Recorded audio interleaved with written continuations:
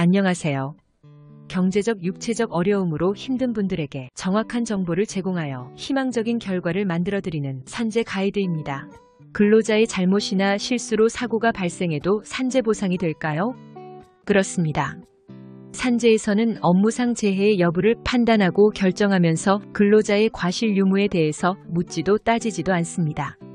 산재 보상은 회사의 책임이 있는 것을 대상으로 하는 것이 아닌지 근로자의 과실로 발생된 산재는 근로자에게 책임이 있는 것이 아닌지 의문을 제기할 수 있습니다.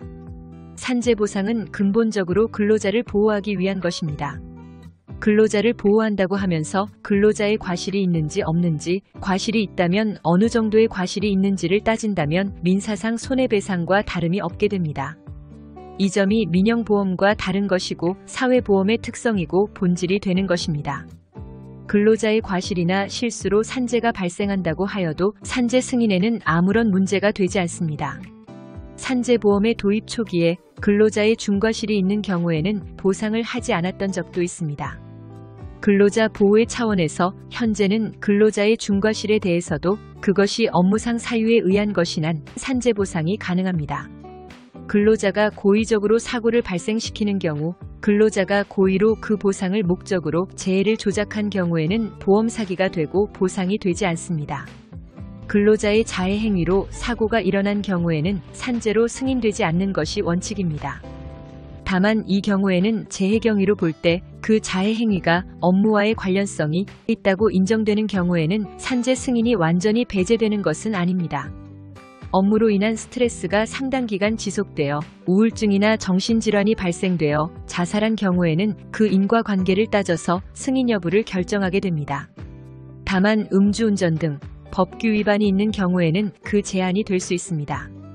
그렇다면 회사에 아무런 잘못이 없는 경우에는 산재 보상이 되지 않을까요? 아닙니다.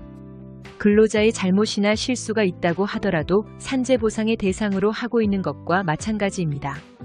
근로자의 보호를 본질로 하고 있는 산재 보상에서는 회사의 잘못이 있는지 없는지를 따질 필요가 없는 것입니다.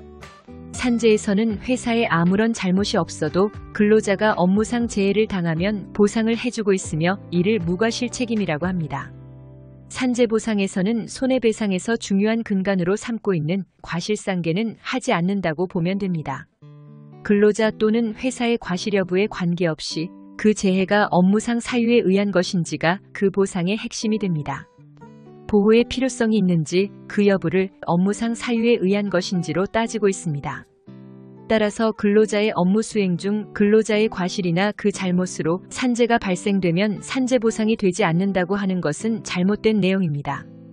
나아가서 회사에 잘못이 없으면 그 보상이 되지 않는다고 하는 것도 잘못된 것입니다.